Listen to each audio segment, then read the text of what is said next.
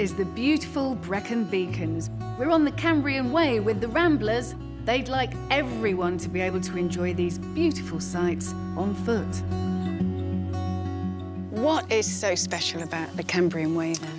I think for us as Ramblers and as an organisation, the Cambrian Way was dreamt up by one of our Ramblers Life members. It's steeped in Ramblers history. It's, it's a seriously long, hard, rugged trail, but it takes in the most beautiful parts of Wales. For us as an organisation, it's just about getting people out healthy, active, and, and, getting out into the countryside. You see a dramatic difference in how you feel when you get out and have that physical activity and that sensory experience when you're out in the countryside. What sort of things can the Ramblers do? Uh, they can get involved in amazing projects like the Cambrian Way, but you can also get just get involved in your local kind of community, so close to maybe around your community centres and your local kind of footpaths, you know, getting your hands dirty, helping the local authorities, putting in stiles, gates, cutting back vegetation.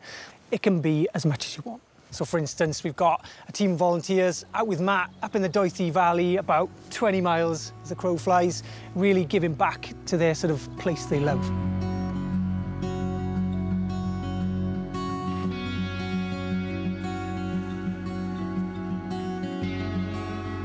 It's a good walk, isn't it? It is a good walk. It's a beautiful one. This is incredible. What scenery.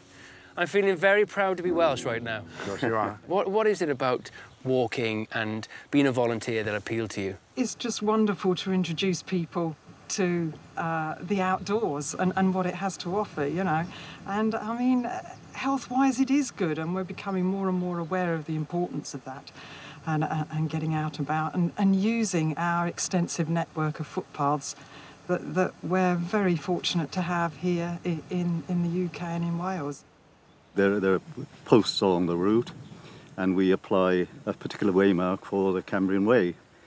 No walker wants to trespass on uh, other people's land and so it's, it, it's useful if they know exactly the path they're going to follow. It doesn't upset landowners, it serves a dual purpose.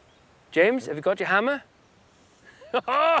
Mm. what a beauty that is. Look at that. Oh, no, that's a special one. Special one, a special one. Come on. There we go. Yes. That's all right, isn't it? Yes. Taith Cambria, the Cambrian Way. Diolch yn fawr, James. Mae'n iawn, croeso, oh. croeso. Should we pop off to the next one? Why not? Oh, I'm in the mood for it. Come on. oh, got my hammer. That feels really good. Oh, oh, oh, oh, we locked in. How do we do it? Haha, city slicker. After you, guys.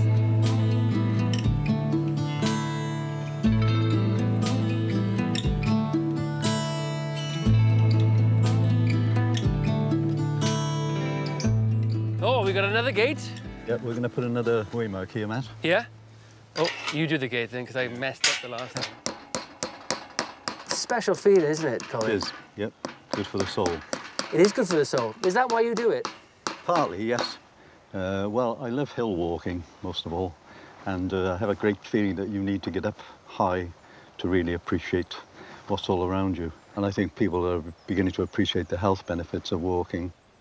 There's so many people working these days behind a computer screen. Being outside, finding new pathways and and doing something special like this today, yeah, putting absolutely. new markers out. Yeah, it's, it's yeah. a it's a wonderful feeling of achievement and, and it's, it's going back to basics, isn't it? Get away from your desk, and stop the automated world and get out and, and get close to nature. I could talk to you all day. Should we go for a pint to do I it? that sounds like a good Let's idea. do it. Come on, buddy. Thank you very much. Thank you. Diolch yn fawr. I managed the gate as well, look.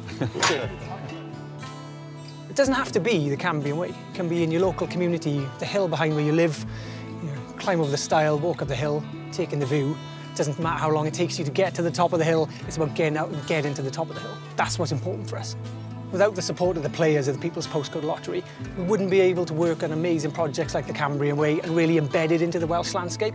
And also for us to get volunteers involved in these projects as well.